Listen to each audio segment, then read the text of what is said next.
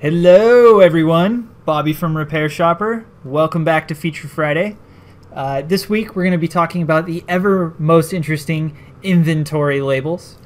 I know, super suspenseful. Hold on to your chairs. Let's get into this. This week, we have an update uh, to the inventory labels that I think a lot of people are going to be very, very happy about. Um, so, let's get into talking about what the two inventory label types are. Maybe some people don't know that there are two types. Let's talk about that. So, uh, in the inventory system in RepairShopr, there are what we call basic labels and then in stock labels. Basic labels are your everyday UPC code uh, types of labels. So, click the button there. It'll show a PDF that looks like this with some of the ticket information, or excuse me, the inventory information, uh, the price, and then uh, UPC if you're using it. Otherwise, it just uses the product ID, which is a generic kind of like database ID that's hidden uh, most of the time. But anyway, that's basic labels. Then, if your product is set to maintain stock or serialized, there's going to be another option that's called in stock labels. Now, what's different about these, and I'll, I'll click it so you can see it, the in stock labels, uh, as you can tell, don't use the UPC code. Uh, the reason for that is, is each one of these labels is actually tied to a specific product instance. And those, when this barcode is scanned, actually uh, remove that specific instance out of your inventory. And the reason I'm, I'm saying uh, or describing the situation like that is because when you're using the basic labels, RepairShopr is using what's called a first in, first out uh, inventory method. I'm sure a lot of you are familiar with that. Too long don't read version of uh, first in, first out, or FIFO as some people call it, is basically it. You receive one item and then you sell it, and that particular first item that you received is used, and then the next one, and so on and so forth after that. So, first item received is the first out. FIFO. Well, in stock labels and the instance system actually do away with that. And it's generally uh, something that's commonly used with serialized products a lot but also in maintained stock where you pick an item up and you want you're tracking the serial number for it. You want to notify the system that you sold that specific one. Whether it was received first or fifth you're selling that specific one. And that's the purpose of in stock labels is so that you can track specific individual instances of these products.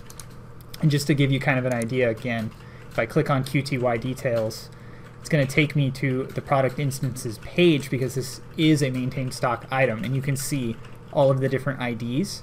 So if I wanted to, let me go to the stuff that's in stock really quick. Whoop, page four. Okay, so if I grabbed this this one off the shelf and scanned the instance barcode, this particular line would get sold before this one because I scanned the instance barcode for that. If it was a basic label that I was scanning, because this is the next one in line, this one would get sold.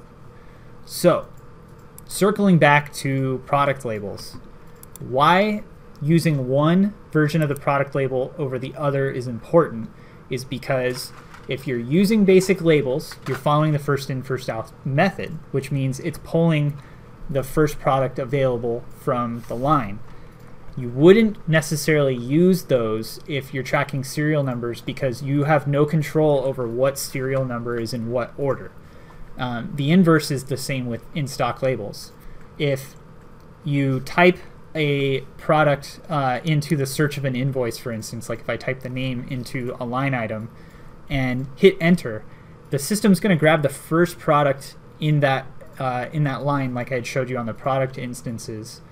But if you are also using in-stock labels in that case, and someone came through and scanned the barcode that belonged to that product that you grabbed off the shelf, you could run into a circumstance where it the system's going to say, "Hey, I'm sorry, that product was sold already because the ID." I'll click it again. The ID on the label was already used. So, all of that is to say, you either should just use basic labels and the typing to manually enter things onto invoices and scanning, or you should just use in stock labels. All right. So why do why does all of this matter? Why have I taken five minutes to explain all of that? Well, what we've done is if you go to the inventory preferences screen and then hit advanced, there's a new option called use basic labels instead of instance labels on non-serialized product. So I'm gonna check this, hit save, and let's go to a purchase order. We'll start there. So on the purchase order, a lot of you are used to maintain, of course, you know, maintain stock products uh, and serialized products are the only things that can be added to a purchase order.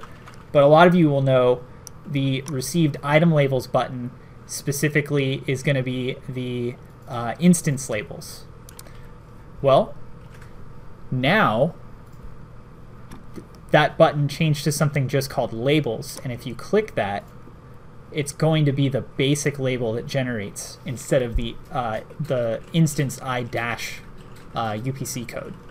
What this means is is that you're no longer necessarily tied to only using instanced barcodes um, if you didn't want to. I know a lot of folks have been asking for this option to be available in purchase orders, but uh, it's finally available. Uh, the other thing too, coming back here, I'll refresh this screen from the product detail page you'll notice that the instance barcode option goes away and the basic label option is still here and you, you can print out with it.